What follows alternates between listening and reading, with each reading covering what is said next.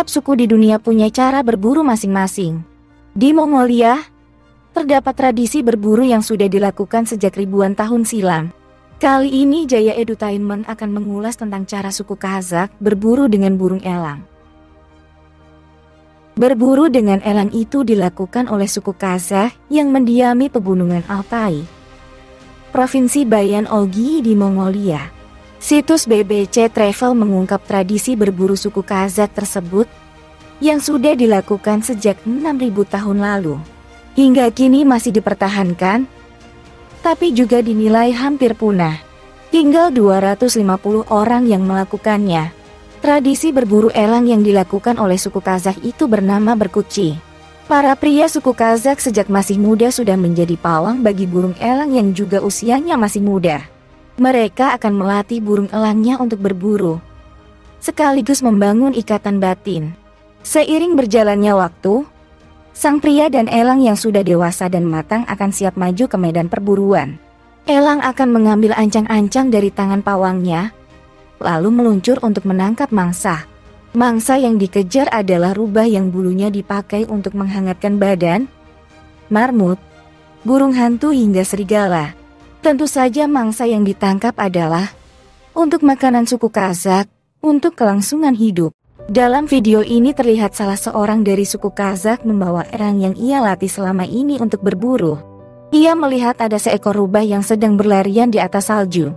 Tanpa menunggu lama ia pun langsung menugaskan si elang untuk memburunya. Dan dengan sangat mudah si burung elang mendapatkannya.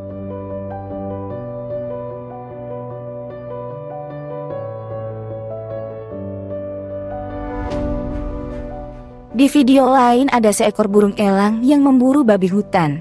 Pada suatu hari, seekor babi hutan tengah berada di pegunungan es. Saat itu suku Kazak sedang berburu untuk mencukupi kebutuhan makan mereka. Tidak membuang waktu. Elang yang ada di tangannya langsung diterbangkan untuk menerkam babi hutan. Bukan hal yang sulit untuk elang menaklukkan babi hutan.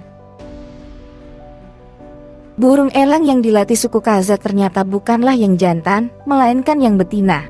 Ternyata, elang betina dinilai sebagai pemburu yang agresif dan badannya lebih berat dibanding elang jantan. Waktu pelatihan antara pawang dan elang pun tidaklah sebentar. Perlu waktu bertahun-tahun agar si elang dapat patuh, jinak dan berburu dengan tepat. Menariknya, Elang yang digunakan untuk berburu ujung-ujungnya akan dilepas ke alam liar setelah mengabdi selama 10 tahun. Bagi suku Kazak, itu adalah suatu penghormatan bagi burung elang. Bagi traveler yang melancong ke pegunungan Altai Bayan Olgie, silahkan melihat suku Kazak dengan burung elangnya dari dekat. Mereka terlihat gahar dan gagah, dengan kostum dan tampilan burung elang yang besar. Namun sayang, Tradisi ini mulai ditinggalkan oleh generasi-generasi muda suku Kazak yang memilih hidup di wilayah perkotaan. Dan menurut kepercayaan orang setempat, elang adalah sayap dari orang-orang Kazak. Jika kalian suka dengan video ini, silahkan klik like, subscribe, dan komen. Terima kasih, dan salam lestari.